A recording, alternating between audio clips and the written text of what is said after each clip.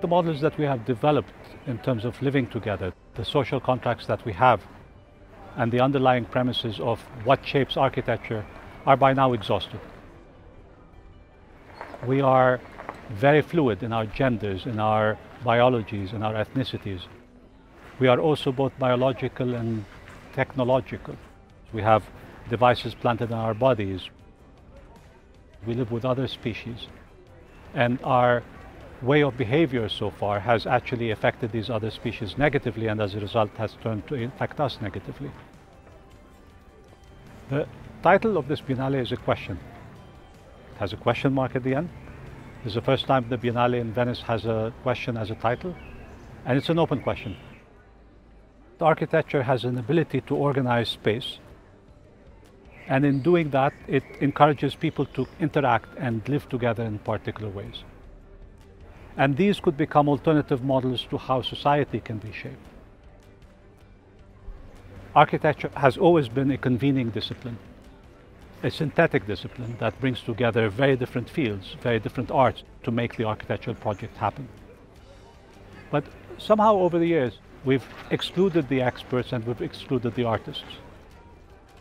For us to maintain our agency and to strengthen it, we need to embrace the complexity and we need to be the conveners. And we also need to be the hosts of other arts rather than the dominant art. In terms of the response to the environmental question, it is no longer a technical question only.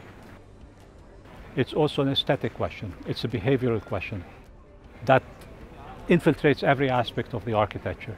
It is almost like architecture is now completely imbued with that environmental ethic. And it's producing amazing results we have to think across political boundaries. The question of the commons is very much directed and enabled by our ability to see them as one entity rather than as being divided by political borders.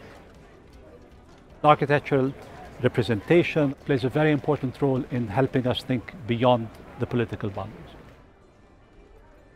The question is, how will we live together? We're truly asking architects around the world to respond from their experiences, but also hypothetically, thinking forward about how architecture can come up with propositions of arrangement of space and people in space.